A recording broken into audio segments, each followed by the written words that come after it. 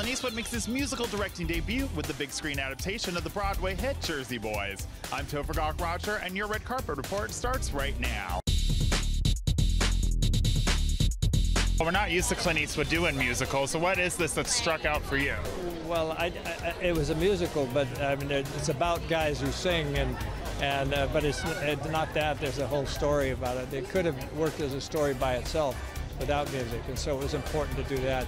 I didn't. It's not a musical in the sense that people are singing the dialogue of the of the play, but. Um, I just liked it. It was a successful play. I enjoyed seeing it.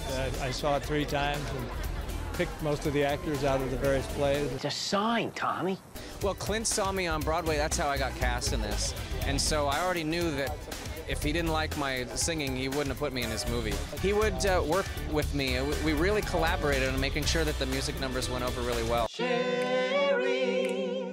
Set up the eight track. We're gonna double Frankie's voice. It's gonna explode right off the radio. Is that a different sound? I love this record! I think it's a marvelous thing that the young people are discovering these songs all over again.